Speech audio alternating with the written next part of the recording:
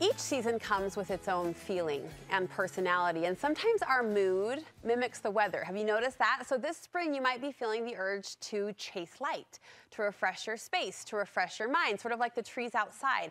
Author and speaker Connie Sokol believes that now is the time to spring clean your mind and your soul to find a new sense of purpose and peace she is joining me with some ideas on how to do that. Always so good to see you, oh, sister. So good to see you. This season, it's mm. just an exhale, isn't it? Yes, and the sun, and ah, oh, you just feel like, okay, let's do this. And why now, Connie, to kind of do a mental inventory or an emotional declutter? Well, like you said, it just mimics the season. We feel this need to refresh, like even with the yard, like get rid of the debris and kind of clean things out, till the earth.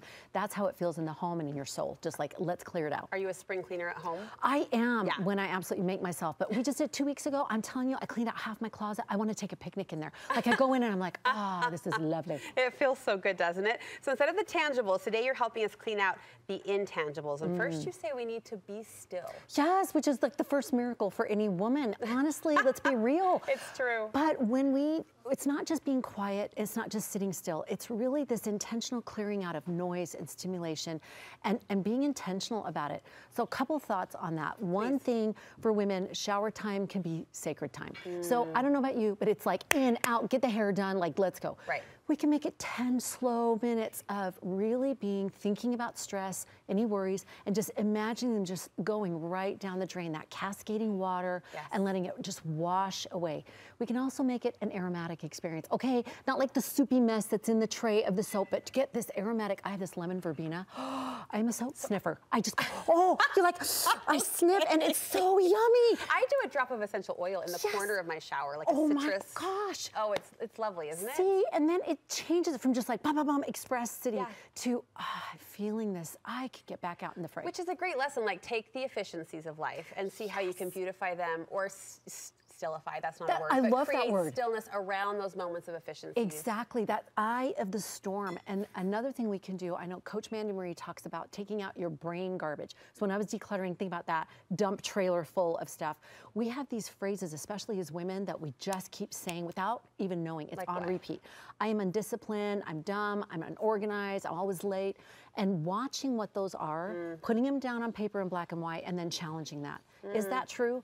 Because honestly, most of us, we're raising a family, running a home, running a business, working at a job. No way, we're doing 52 moving parts every single day. It's just yeah. not true. So if we can challenge it, then we can say, I let go of that false belief. I release that. I drop that. And boom, you start to feel this mm. release of this clutter that's going on in your brain all the time. All right, be still and then shred it. Yes.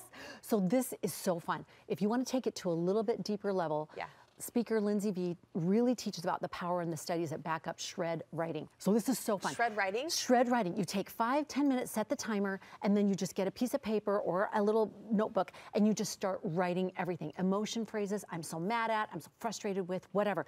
It doesn't have to Do be you feel a little sentences. crazy in the moment? Kind of, kind of, but it's almost like I think I would. Scary release. Like she talks about the first time she did it, she like locked her bedroom door. Like she was doing meth or like something. Like didn't want anyone. No, like don't look at what I'm writing. This is like so scary. Maybe she was smelling soap. We don't know what she was doing she behind was that door. she was doing something. Ah, ah. but she's writing that out, and then boom, you get done. You ball it up, you burn it, rip it, shred it, just okay. get rid of it. And okay. boom, it's just a lighter feel. You've done this with some of your clients, your friends? Yes, and it's amazing. It really is so freeing. And things that you wouldn't know are in there, you start yeah. excavating these layers. Okay, all right, finally, we're gonna move it. Yes. So when you realize what those things are that cluttering, get it out physically. So you could do the walk with your friends. Oh, that's so annoying, right? Or you could do a dance party. Okay, I have a gal that I coach. Sweet thing, she is a recent widow, young widow with four littles. Man, that grief is thick. But she'll put on some music and she'll have her littles and they'll be going and she picks up her daughters and they dance party.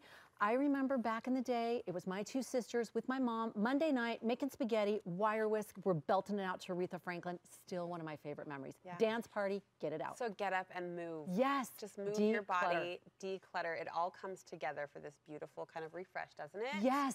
And you just get it out and you feel like a new person. Connie, thank you. Where can we find more from you, sister? ConnieSokol.com. I have my Find Your Purpose Challenge. It's free. Get in there, get refreshed for your purpose for the spring. We can help you there. I met a woman the other day who had taken one of your retreats retreats and was just, it was so fun to have a gush fest on our Oh. friend Connie Sokol, this sweet woman that's changing so many other mm, women's lives. So brownies thank later. you. You're so sweet. I'll take them, but we do love you. Thank you so much. We'll link you over to Connie's website where you can learn more about her programs, her retreats, her books, and her coaching. It's all there for you at studio5.ksl.com.